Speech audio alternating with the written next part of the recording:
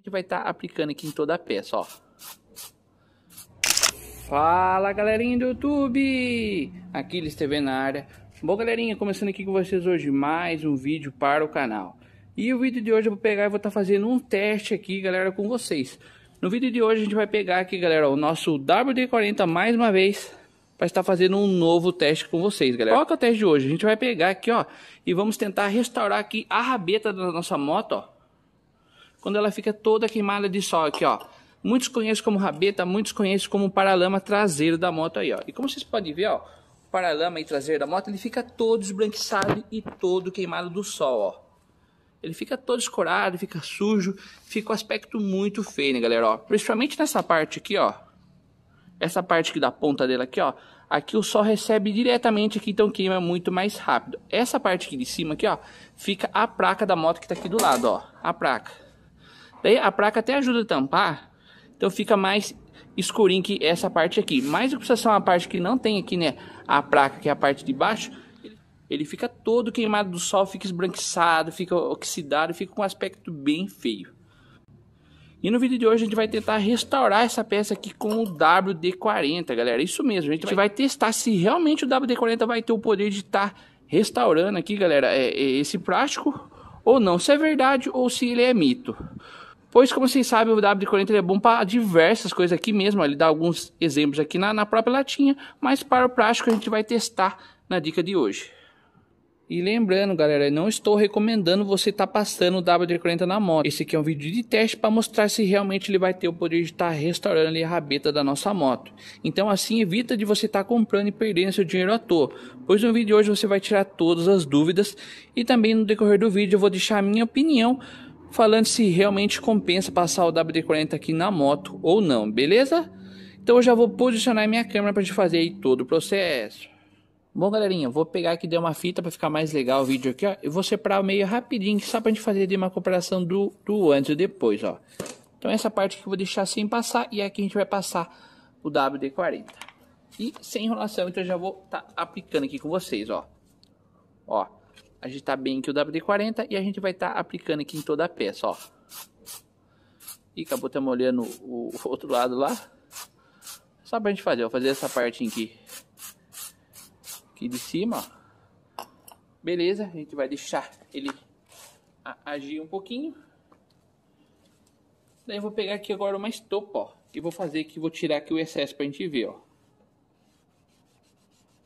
Pra ver como, qual, como que vai ficar o aspecto aí do, do plástico e da moto.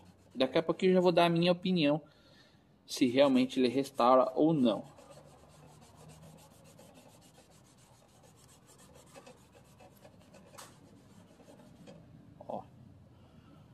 Até fica o aspecto bem, bem bonito, só tá grudando um pouquinho da, soltando um pouco da estopa, acho que era até melhor ter feito com um pano, ó. É, aparentemente ele deu um aspecto bonitinho, galera.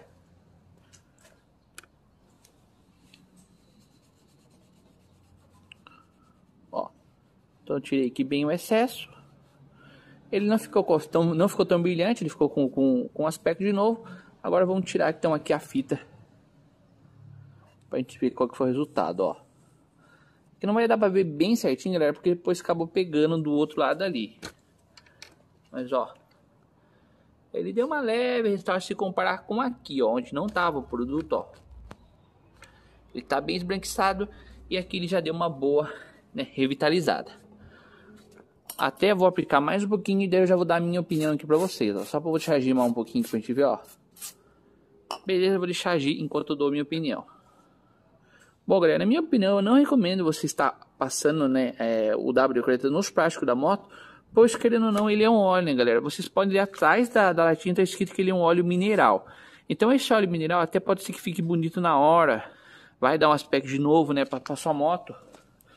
Ó, vai ficar um aspecto bem bonitinho, mas ele não vai resolver o problema, ele só vai dar como ele só vai dar uma, uma maquiada, na verdade. É igual quando você usa um silicone. Vocês lavam aí a moto, o carro passa silicone, vai ficar bonitinho na hora, mas depois vai sair, vai ficar pior do que estava.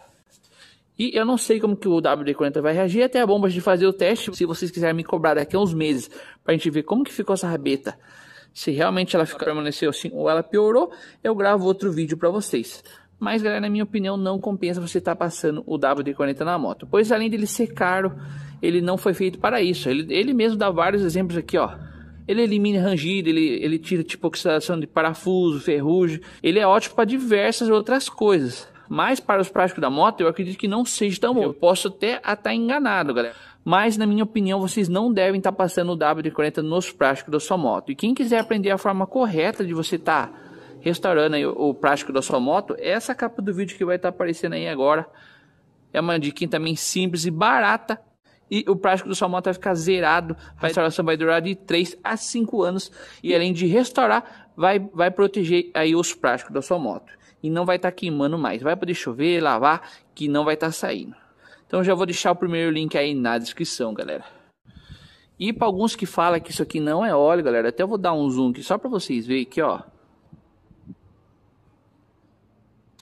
Ó, ele mesmo está escrito aqui, ó, óleos minerais. Até que ele está falando que pode passar em plástico, borracha, tecidos e tudo mais, mas na minha opinião eu não recomendo vocês estarem fazendo isso. Como falei, até pode estar tá passando, mas eu acredito que com o tempo pode ter, como isso aqui é um óleo mineral, o sol vai bater aqui e vai acabar descurando ainda mais aí o plástico da sua moto. Mas como falei, eu posso estar enganado, então essa é a minha opinião. Eu não recomendo estar tá passando, mas para outras coisas o WD-40 ele é ótimo aí. Temos vários vídeos aí no canal ensinando ó, a, a lubrificação de, ó, de corrente. Se você quiser eu gravo um, um vídeo só para isso. Por exemplo aqui, ó, se essas partinhas aqui da moto, ó, tiverem, ó, ó, ó como tá emperrada, minha, ó o barulho. Olha o barulho que tá, ó. ó não tô nem fazendo, ó, pra mentira, ó. Ó o barulho. Vou passar aqui para vocês estarem vendo, ó. Eu nem ia fazer isso aqui, mas é bom para mostrar na prática para vocês, ó, como já começa a melhorar, ó. Ó o barulho. Vou passar mais aqui. Então para tirar rangidos, é, para desenroscar as coisas ele é muito mais prático, ó. Como já começa a melhorar. Então a gente lubrifica bem aqui para essas coisas, ele é ótimo, ó. Ficou bem mais molinho agora, ó. E parou aquele barulho. Então para esse tipo de coisa, o W40 ele é ótimo. E lembrando que em breve vai sair aqui no canal também como você está restaurando todos os plásticos em marrom da moto. Vai sair dica de restauração de plástico preto mais é, de formas diferentes. Então, se você não é inscrito do canal da Cris TV e quer ver mais testes aqui no canal com produtos antes de você estar tá comprando, já comenta aí qual que é a marca do produto, qual produto que vocês querem que eu teste, que eu teste aqui no canal, para vocês não estar tá perdendo o dinheiro de vocês, beleza? E como eu falei, depois eu vou fazer aqui bem bonitinho, vou, vou testar por alguns meses, depois eu volto aqui para mostrar para vocês qual que é o resultado, por exemplo, daqui uns 2 a 3 meses, como que essa rabeta ficou aí com o WD-40. E agora na tela vai estar vai tá aparecendo duas dicas para você fazer no seu carro ou na sua moto, galera. Clique em qualquer uma dessas duas dicas aí que vocês vão estar tá gostando muito. E aqui no meio é para você se inscrever no meu canal para você não perder nenhuma dica que eu trago aqui. E agradeço a todos vocês que ficaram até o final do vídeo comigo. Falou, valeu!